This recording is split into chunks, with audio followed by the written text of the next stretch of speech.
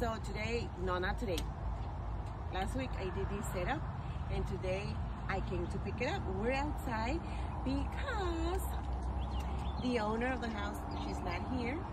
So this is the advantage of using this backdrop. It's small, convenient, and movable. I can set up this uh, inside. They can move it whenever they want to. Like right now, she just told me I'm gonna leave it outside so that you can come and pick it up whenever you can. And it works with my schedule, it works with her, and everybody's happy.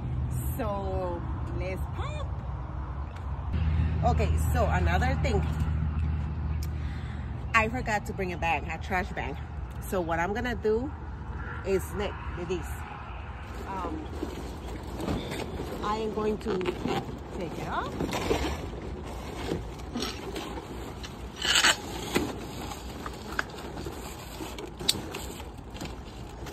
I'm gonna take out the balloons. I am going to put them in the car. Like that. And so I don't I don't leave a mess here. Okay, I don't want to leave a mess here for her. So let's pop them.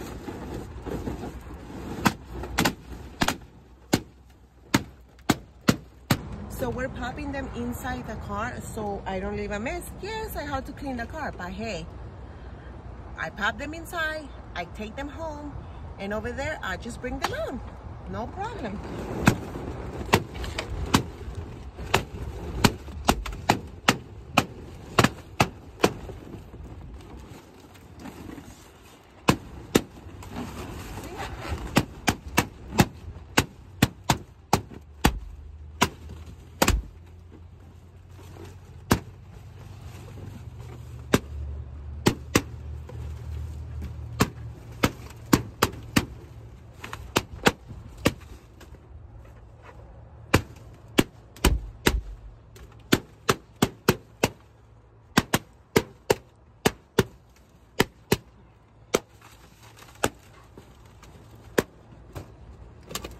I'm gonna take the car and just vacuum it because it needs it.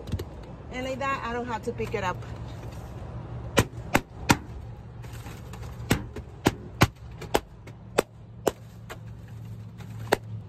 This one, I don't pop them because I can use this one for my personal use. For my parties, my house parties, my kids' party. I might do a um, a decoration for my daughter on pink or black or pink. I think I would like that one. And uh, but I don't use them for clients. Every every everything that I pop, I use it for my own. See, let me show you. Look, if you saw my video, look, the the rubber bands are falling off. See, and I can use these again. See.